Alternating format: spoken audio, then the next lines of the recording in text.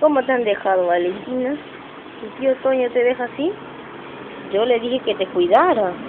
Total, te deja escuchando su iPod o lo que sea eso. Valentina. Valentina.